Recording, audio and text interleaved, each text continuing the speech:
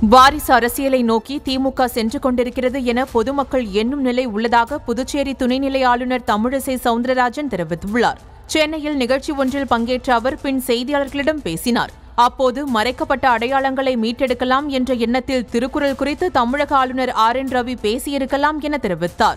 திமுக துணை பொதுச் செயலாளராக கனிமொழி தேர்ந்தெடுக்கப்பட்டதற்கு தனது வாழ்த்துக்களையும் தெரிவித்துக் கொண்டார். தலைவர் அண்ணன் துணை பொதுச் செயலாளர் தங்கை என வாரிசு அரசியலை நோக்கி திமுக சென்று கொண்டிருக்கிறது என பொதுமக்கள் எண்ணும் நிலை உள்ளதாக தெரிவித்தார்.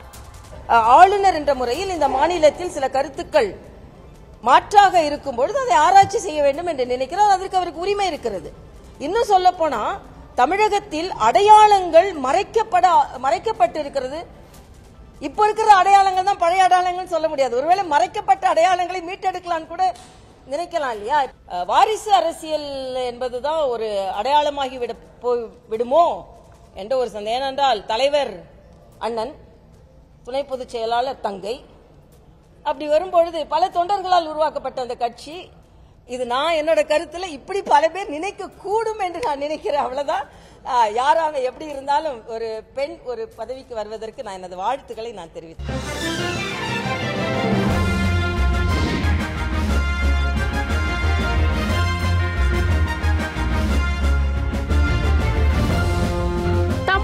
செய்திகளின் புதிய அடையாளமாக.